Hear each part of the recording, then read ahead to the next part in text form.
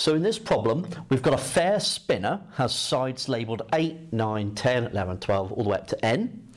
The score on the spinner after a single spin is the discrete random variable x. Part A, given that the probability of x being greater than 16 but less than or equal to 30 is 1 quarter, find n. Okay, so um, we know that all the probabilities are the same, so this is a uniform distribution because it's a fair spinner.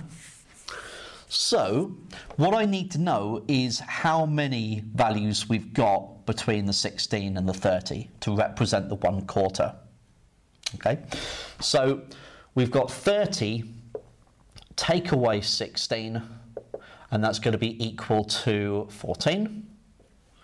So 14 values gets us one quarter. So 14 times by 4 is 56.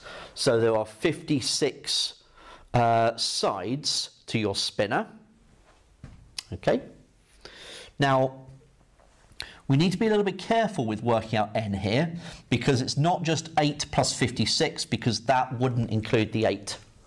Um, we would get one too many. So essentially we need to do 8 plus 55 is equal to n. And so that's equal to 63. So n is 63 is what we want. Part B, the spinner is spun once. Find the probability of scoring at most 30. So the probability of x being at most 30 is less than or equal to 30. Now we want to go from 8 up to 30. So that would be 30 take away 7. Okay, now if you want to take away 8 and then uh, add 1, you can do it that way if you like, but you need to make sure you're including 8 in there. So 30 take away 7, and that's going to be over uh, n, which is, sorry, uh, over um, how many we've got, apologies, which was 56. So you've got to be a little bit careful with that. Almost did it over n. So that would just be 23 over 56. Okay, right. Part C. The spinner is spun 20 times. Each spin is independent of the previous spin. Find the probability of scoring at most 30 on at least 15 spins. Now, this has turned into a binomial distribution problem. It's binomial now because we've got a fixed number of trials, which is 20. Uh, we've got the probability of success, so the probability of scoring at most 30, we worked out in the previous video, is 23 out of 56.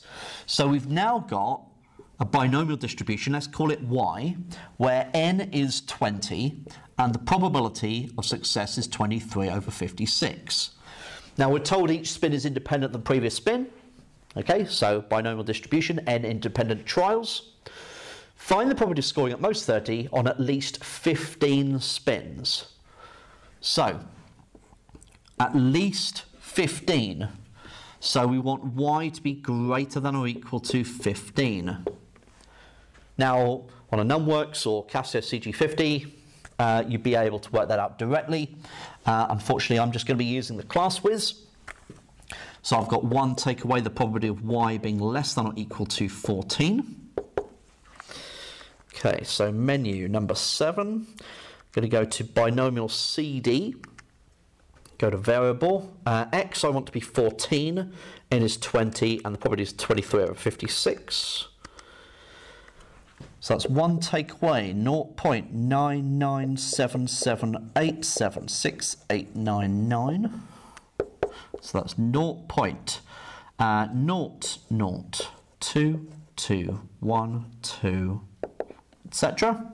So 0.0022 to four decimal places. Okay, and that's the probability I want to find.